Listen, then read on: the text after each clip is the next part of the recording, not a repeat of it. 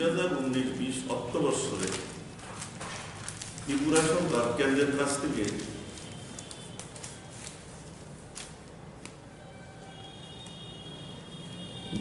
কম পেয়েছে ছয় হাজার একশো আটাত্তর ডট বিশ কোটি টাকা।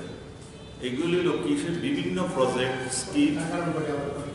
ছয় হাজার ছয় হাজার একশো আটাত্তর ডট বিশ কোটি টাকা কম পেয়েছে বিভিন্ন প্রজেক্ট স্কিম সেন্ট্রাল শেয়ারে যেখানে কথা ছিল পাওয়ার কথা বারো হাজার সাতশো তেষট্টি কোটি ডট থার্টি।